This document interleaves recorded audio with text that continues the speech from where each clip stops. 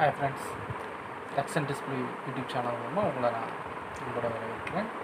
இன்றைக்கி நம்ம என்ன வீடியோ பார்க்க போகிறோம் அப்படின்னா நம்மளுடைய ஃபோட்டோஸை எப்படி ட்ரெண்டிங்காக எடிட் பண்ணி வீடியோவாக க்ரியேட் பண்ணி வாட்ஸ்அப் ஸ்டேட்டஸில் வச்சுக்கலாம் அப்படிங்கிற நம்ம வீடியோ தான் நம்ம இன்றைக்கி பார்க்குறோம் சரிங்களா?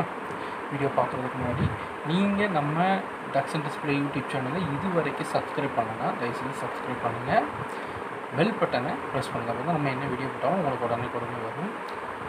கமெண்ட் பண்ணுங்கள் லைக் பண்ணுங்கள் ஷேர் பண்ணுங்கள் வாங்க வீடியோ போகலாம்.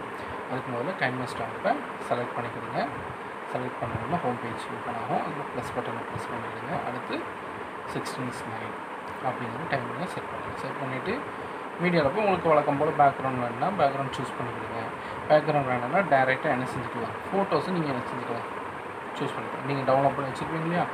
அந்த ஃபோட்டோஸை செலக்ட் பண்ணிக்கிடுங்க ஸோ நான் இந்த மூணு ஃபோட்டோவையும் நான் செலக்ட் பண்ணியிருக்கேன். செலக்ட் பண்ணிவிட்டு டிக் கொடுத்துருக்கேன் டிக் கொடுத்துட்டு ஃபோட்டோவை செலக்ட் பண்ணி இந்த கிளிப் கிராஃபிக்ஸ் இருக்குல்ல அதுக்கு மேலே மூணு ஆப்ஷன் இருக்கும் அதில் ரெண்டாவது ஆப்ஷன் இருக்குல்ல சிஸ்டர் பக்கத்தில். அதை ப்ரெஸ் பண்ணுங்கள் ப்ரெஸ் பண்ணிவிட்டு ஃபோட்டோ ஃப்ரேம்குள்ளே இருக்கிற மாதிரி கரெக்டாக செட் ஃப்ரேம் கூட ஃபோட்டோ இருக்கிற மாதிரி கரெக்டாக அட்ஜஸ்ட் பண்ணி செட் பண்ணிவிட்டு இந்த ஈக்குவல் டு ப்ரெஸ் பண்ணிங்கன்னா ஸ்டார்டிங் பொசிஷன் எண்ட் பொசிஷன் ரெண்டுமே ஈக்குவல் ஆகிடும் திரும்ப டிக் பண்ணிடுங்க.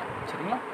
அடுத்ததாக அடுத்த ஃபோட்டோ அதையும் அதே மாதிரி செலக்ட் பண்ணுங்கள் சிஸ்டருக்கு பக்கத்தில் இருக்கக்கூடிய அந்த மார்க்கை ப்ரெஸ் பண்ணுங்கள் ஃபோட்டோவை கரெக்டாக ஃப்ரேமில் இருக்கிற மாதிரி செட் பண்ணி வச்சுக்கோங்க. செட் பண்ணி வச்சுட்டு இந்த ஈக்குவல்ட்டை ப்ரெஸ் பண்ணிக்கிடுங்க ப்ரெஸ் பண்ணிவிட்டு டிக் பண்ணிடலாம் அடுத்தால மூணாவது ஃபோட்டோ அதே மாதிரி செலக்ட் பண்ணிவிட்டு அந்த ஆப்ஷனை ப்ரெஸ் பண்ணுங்கள் ஃப்ரேமில் ஃபோட்டோ கரெக்டாக ஷூட் ஆகிற மாதிரி செட் பண்ணி வச்சுக்கிடுங்க. ஈக்குவல்ட்டை ப்ரெஸ் பண்ணுங்கள் டிக் பண்ணுங்கள் ஸோ இப்போ இந்த மூணு ஃபோட்டோவையும் நம்ம ஃப்ரேம்குள்ளே அரேஞ்ச் பண்ணிட்டோம்.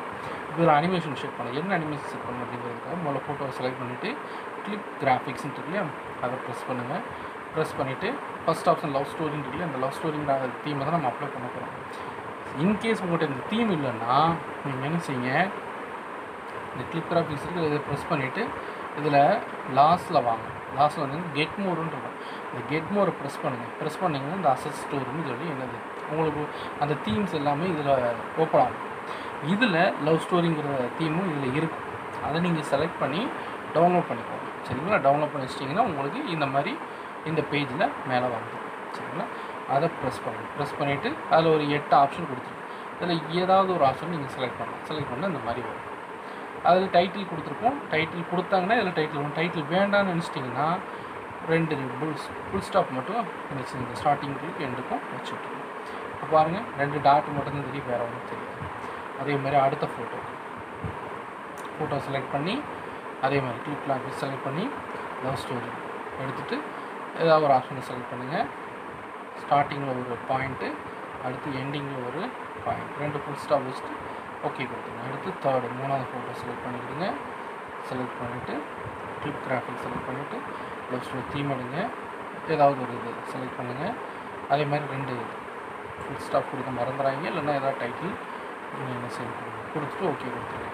கொடுத்துட்டு டிக் பண்ணணும். ஒவ்வொரு ஃபோட்டோவுக்கும் நீங்கள் டிக் பண்ணணும் அப்போ தான் சேவ் ஆகும். கொடுத்துட்டு இப்போ ப்ளே பண்ணி பாருங்கள் அழகாக இருக்கா? ஸோ ஒவ்வொரு ஃபோட்டோவும் நீங்கள் இந்த மாதிரி என்ன செஞ்சுக்கலாம் அழகாக உங்கள் ஃபோட்டோவை செட் பண்ணி வச்சுக்கலாம். வாட்ஸ்அப் ஸ்டேட்டஸ் இருக்குது. உங்கள் ஃப்ரெண்ட்ஸ்க்கு ரொம்ப பிடிக்கும் உங்கள் ஸ்டேட்டஸு இதில் நீங்கள் ஏதாவது மியூசிக் ஆட் பண்ணாலும் பேக்ரவுண்ட் மியூசிக் என்ன செஞ்சுக்கலாம் ஆடியோ இருந்தால் இருக்குது ஆடியோ கிளிக் பண்ணி என்ன மியூசிக் வேணும் அதை கிளிக் பண்ணிங்கன்னா ஆட்டோமேட்டிக்காக ஆடும் நீங்கள் இது டவுன்லோட் பண்ணதுக்கு என்ன பண்ணணும்? இதாக இருக்கு இல்லையா? இதை ப்ரெஸ் பண்ணுங்கள் ப்ரெஸ் பண்ணிவிட்டு செலக்ட் பண்ணிட்டு ஷேர் ஆப்ஷன் கொடுங்க. கொடுத்தீங்கன்னா எக்ஸ்போர்ட்டுன்னு சொல்லி கேட்கும். செவன் டுவெண்ட்டி தேர்ட்டி தேர்ட்டியில் வச்சு தேர்ட்டி இல்லை ஃபிஃப்டி வரைக்கும் வைக்கலாம். தேர்ட்டியில் வச்சிங்கன்னா கொஞ்சம் குயிக்காக முடியும். ஃபிஃப்டி சிக்ஸ்டி போக டைம் ஆகும். எக்ஸ்போர்ட்டுன்னு கொடுங்க. இது எக்ஸ்போர்ட் ஆகும். எக்ஸ்போர்ட் ஆகி முடிஞ்சதுக்கப்புறம் நீங்கள் டவுன்லோட் பண்ணி வாட்ஸ்அப் ஸ்டேட்டஸில் வச்சுக்கலாம். சரிங்களா? உங்களுக்கு இந்த வீடியோ பிடிச்சிக்கணும்னு நினைக்கிறேன். பிடிச்சிருந்தா மறக்காமல் லைக் பண்ணுங்கள் ஷேர் பண்ணுங்கள் நம்ம சேனலை சப்ஸ்கிரைப் பண்ணுங்கள் மறுபடியும் அடுத்த வீடியோ சந்திப்போம். நன்றி வணக்கம்.